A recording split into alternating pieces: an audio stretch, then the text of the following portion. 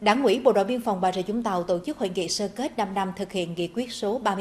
33-2018 của Bộ Chính trị về chiến lược bảo vệ biên giới quốc gia và 5 năm thực hiện nghị quyết số 29-2018 của Bộ Chính trị về chiến lược bảo vệ Tổ quốc trên không gian mạng.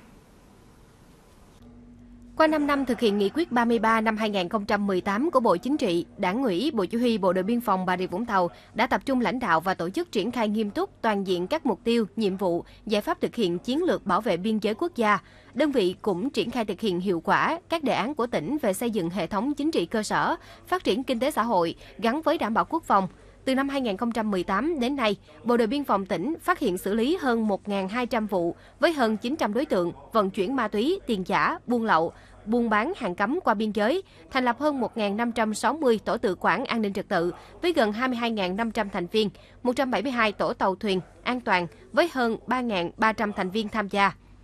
thực hiện nghị quyết số 29 năm 2018 của Bộ Chính trị về chiến lược bảo vệ Tổ quốc trên không gian mạng, Bộ đội Biên phòng tỉnh thực hiện nghiêm công tác bảo vệ bí mật, an toàn thông tin, an ninh mạng, đề cao cảnh giác với những nội dung phản động độc hại, khuyến khích cán bộ, đảng viên, tích cực viết, bình luận, chia sẻ nội dung đấu tranh phản bác các quan điểm sai trái thù địch trên không gian mạng. Đơn vị cũng chủ động phối hợp với các ban ngành đoàn thể, chính quyền địa phương, triển khai công tác tuyên truyền, kết quả xây dựng, đấu tranh bảo vệ nền tảng tư tưởng của Đảng, phản bác các quan điểm sai trái thù địch,